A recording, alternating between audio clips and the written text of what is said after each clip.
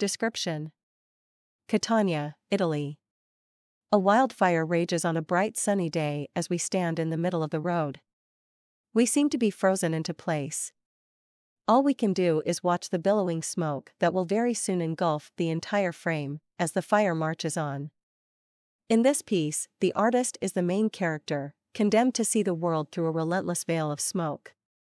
This visual comparison is the closest representation of what his impairment actually looks like.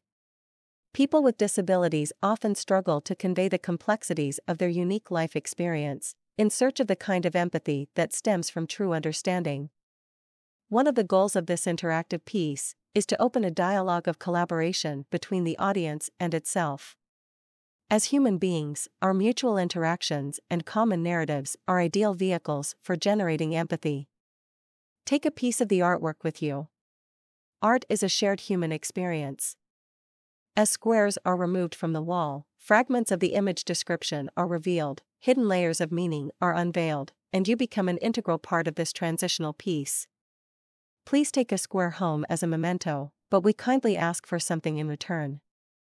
This is a fair exchange. A barter of significant moments. Share something that's important to you.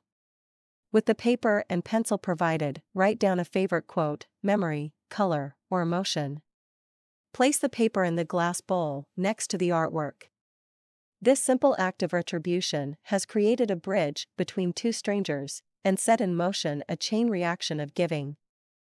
Contact gallery staff to receive a protective envelope and signed certificate of authenticity. Image description A wildfire on a paved road in the middle of a summer day. Billowing smoke rises from the ground, engulfing the rural surroundings in a white, grayish, and orange hue, partially obscuring the view of the clear blue sky.